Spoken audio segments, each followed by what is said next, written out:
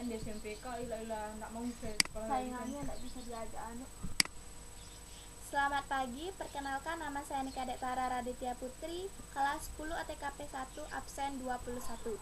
Di video pembelajaran kali ini, saya akan membahas tentang menerapkan pencatatan-pencatatan surat atau dokumen masuk dan keluar. Di sini saya akan membahas tentang pengertian prosedur.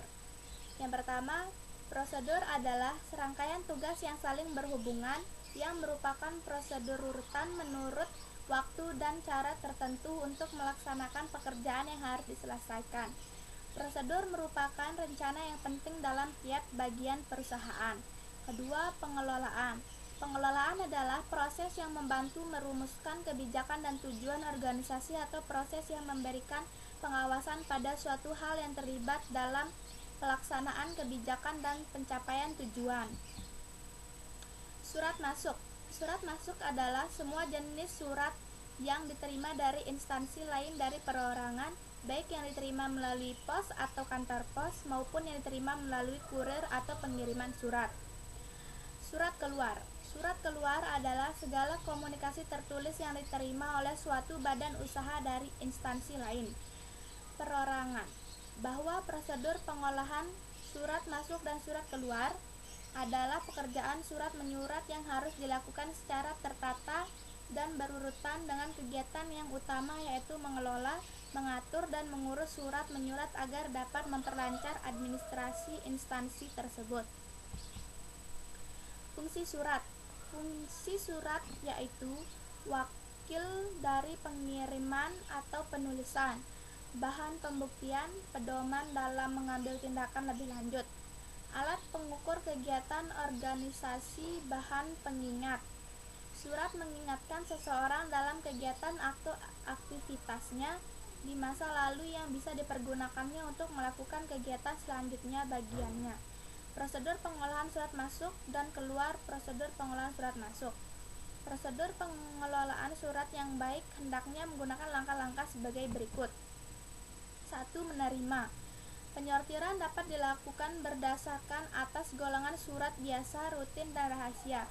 Penyortiran adalah kegiatan memisah-misahkan surat untuk mengolah pengolahan lebih lanjut.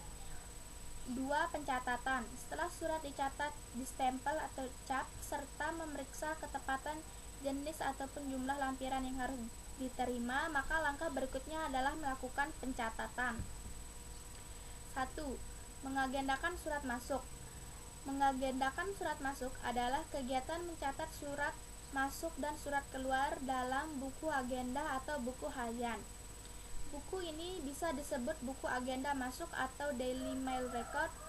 Petugasnya dinamakan agendaris atau mail slab. Setiap surat masuk dicatat dan diberi nomor agenda surat masuk. 2. Pengarahan dan peneru penerusan surat-surat yang perlu diproses lebih lanjut harus di, diarahkan dan diteruskan kepada pejabat yang berhak mengolahnya. 3. Penyampaian surat. Penyampaian surat dilakukan oleh petugas pengarah atau ekspedisi yang dilaksanakan dengan langkah-langkah sebagai berikut. 1. Surat yang sudah di berdisposisi terlebih dahulu dicatat dalam buku ekspedisi inter. 2. Menyampaikan surat terlebih dahulu melalui buku ekspedisi kepada pejabat yang bersangkutan. 3. Petugas pengarah atau ekspedisi mengembalikannya kepada urusan agenda untuk dicatat dalam buku pengarahan. 4. Penyimpanan berkas atau arsip surat masuk. 5. Penyimpanan berkas atau arsip surat dari pimpinan dilakukan oleh unit pengolah dengan mempergunakan metode kearsipan yang berlaku untuk kantor tersebut. Prosedur pengolahan surat masuk. Prosedur pengelolaan surat keluar apabila konsep surat telah mendapat persetujuan dan memperoleh kode atau nomor surat. Diserahkan kepada unit pengolah, kemudian kepala unit pengolah harus tekun dan teliti mentaklik hasil pengetikan konsep surat hingga konsep surat itu menjadi bentuk surat atau net surat setelah melalui koreksi kesalahan.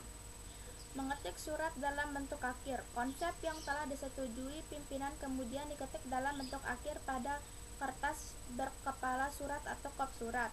Penandatanganan.